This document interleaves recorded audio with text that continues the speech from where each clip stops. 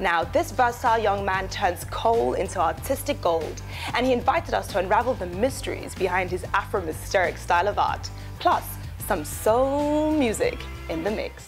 So baby, have no fears, yeah. It's me and you. What you gonna do? My love for art started as um, a kid.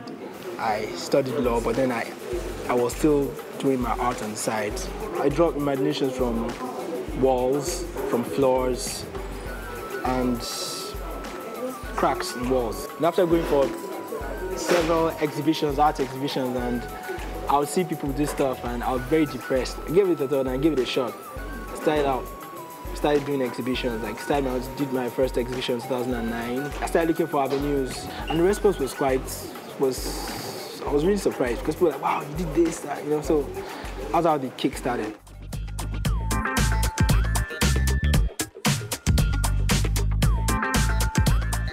The style of my art is Afro-mysterics. This simply means the mystery of the African thought pattern. You see the patterns, and then you see the themes, and then you see uh, always see a story behind every piece you find. If you find an Afro-mysteric head, you find stories around it.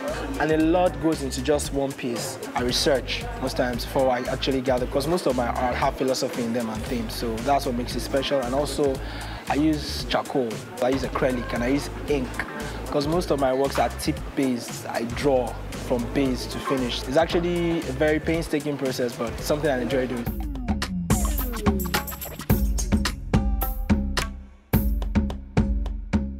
Music is, is like air to me because there's no, no, no day I don't play music. Like, it's my life.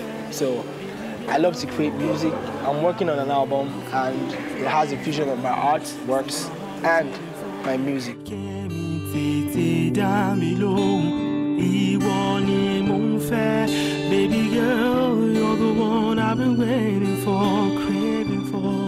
Inspired by Asa's music. Her music has served as like a source of inspiration to me. So I listened to her music and I came up with this. And what came into my mind was I'm trying to interpret her as a person and go deep into her style of music.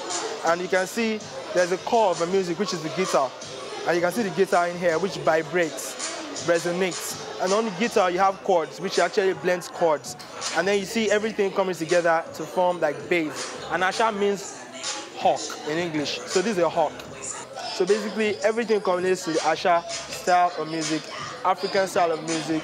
She's true to her roots, and I love to represent people like this. That's why this is here. And the title song Stress. You see, if you walk in the marketplace, down throws stones. Even if you just might hit one of your own. Art's about vision. You don't pay for the labor of the artist, you pay for the sight of the artist, the way the person is able to see and create. That's what you're paying for. So the value depends on the depth and the sight of the artist. I'd love to keep doing what I'm doing. I don't want to lose drive. I pray for that every day. So basically, I keep working on myself, working on my art, working on my music. CC